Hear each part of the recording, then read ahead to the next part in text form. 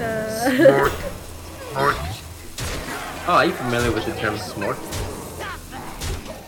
Yeah, it means hit him in the face. Mm, Good. Nerd.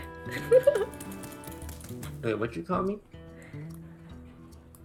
I said cool.